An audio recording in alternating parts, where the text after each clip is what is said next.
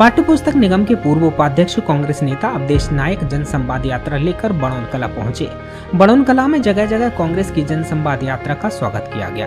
अवधेश नायक ने जन चौपाल में उपस्थित ग्रामीणों का आह्वान किया कि प्रदेश में कांग्रेस की सरकार बनाए। यह आज के समय की आवश्यकता भी है, क्योंकि लगातार सत्ता में रहने से अहंकार आ जाता है। नायक के साथ यात्रा में चल रहे शहर कांग्रेस अध्यक्ष दीपेंद्र पुरोहित, बड़ौनी ब्लॉक अध्यक्ष आनंद चौबे, वरिष्ठ कांग्रेसी नेता अनिल राज ने दतिया में व्याप्त डर भय के वातावरण को समाप्त करने हेतु कांग्रेस को दतिया विधानसभा क्षेत्र से विजय बनाने का संकल्प कराया।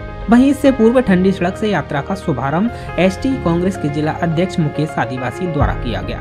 संचालन काले खान ने किया, वहीं जन चौपाल को ब्रजमोहन शर्मा, आज़ाद अहरवार, मोइन खान, धर्मेंद्र चौबे, गजेंद्र राजपूत, अंशुल मिश्रा ने भी संबोधित किया।